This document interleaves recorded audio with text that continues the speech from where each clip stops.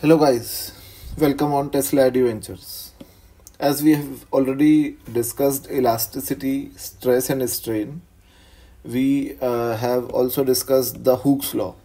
And according to Hooke's law, the stress developed in a body is equal to the is proportional to the strain applied on it and stress uh, when we remove the proportionality sign then a constant comes which is called as modulus of elasticity. So we have already discussed that there are three types of stress and there are three types of strain. So we can also say that on the basis of those types, there are three kinds of elastic modulus. So the first elastic modulus is Young's modulus.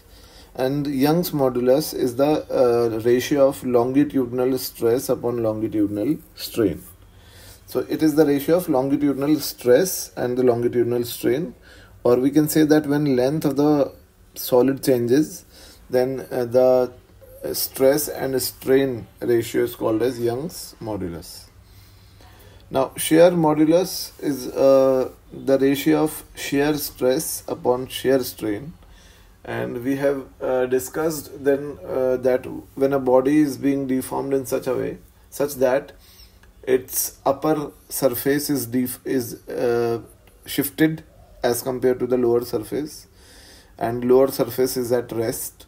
So the ratio of uh, that shear stress and the shear strain of the body is called as shear modulus or modulus of rigidity.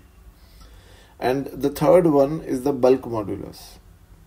Now the bulk modulus is the ratio of volumetric stress uh, and the volumetric strain so volumetric stress is the stress developed in a body when its volume changes or we can also say that the volumetric stress is itself pressure and volumetric strain is we know that it is the change in volume upon the original volume of the body.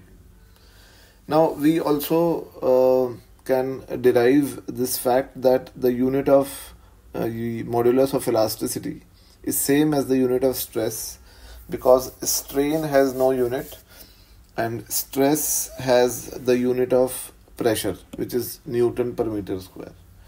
So we can say that the modulus of elasticity gamma has a uh, dimensions of pressure. And uh, it is equal to the in dimensionally it is equal to the stress and pressure. So this was uh, the modulus of elasticities.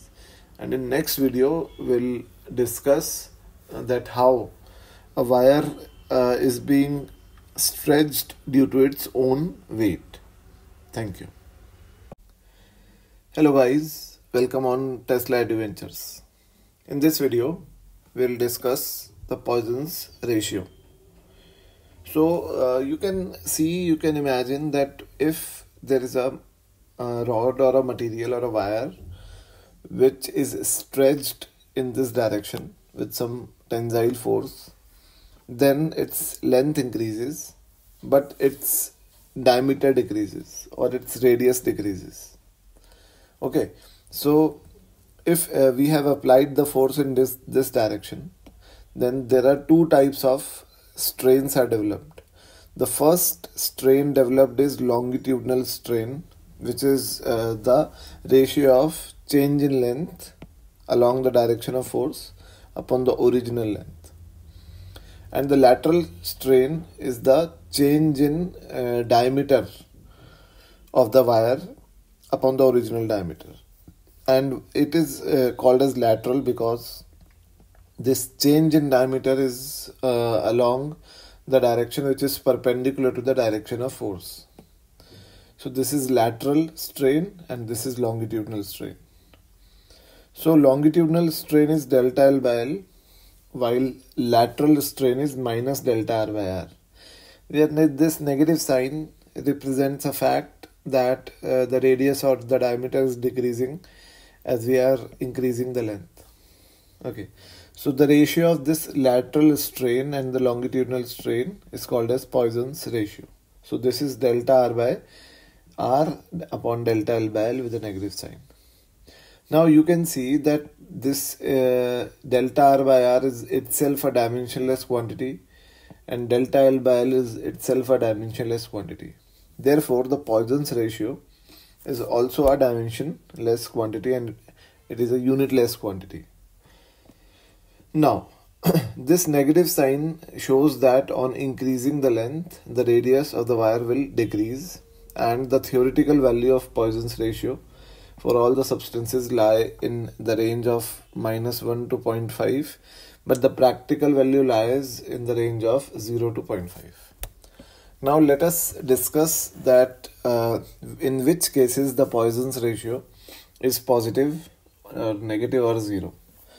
So if uh, there is some material whose length whose length increases when we stretch those materials and whose cross section radius decreases.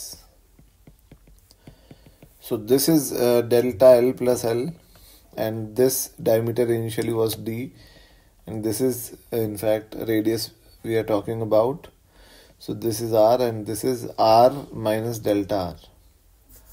So you can see that uh, delta R is negative because the radius has decreased and delta L is positive.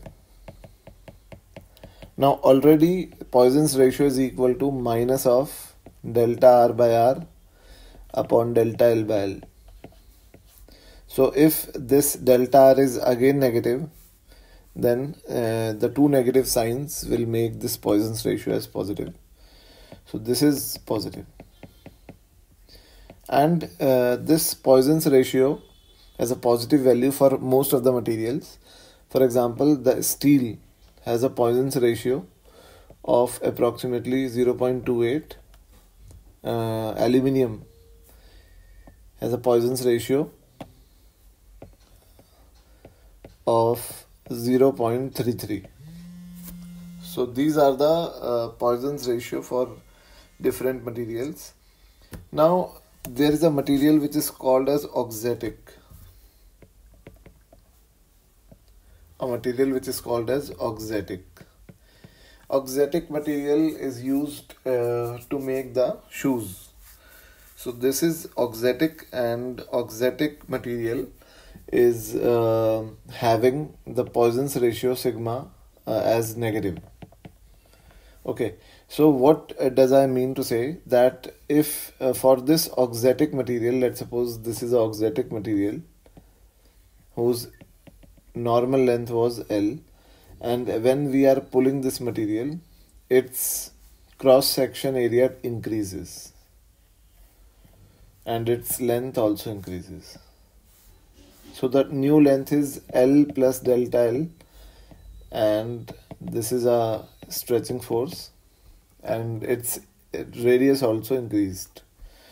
So delta R is positive for auxetic material and uh, delta L is also positive. Therefore, the Poisson's ratio which has a negative sign already in its formula will be negative. Okay like that.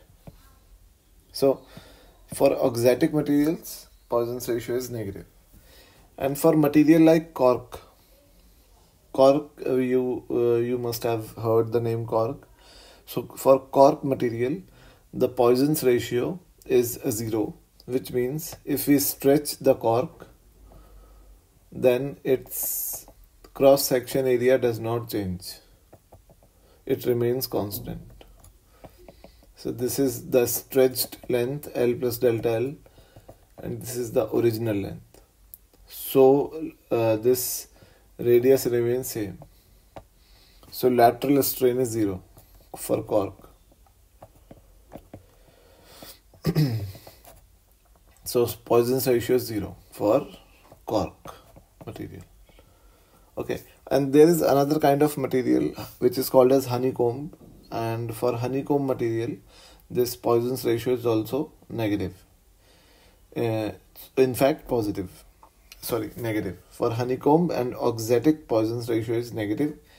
For cork it is zero. And for steel and aluminum like normal materials it is positive. So uh, this was the Poisson's ratio. And we will be discussing some more detailed facts in next videos. Thank you.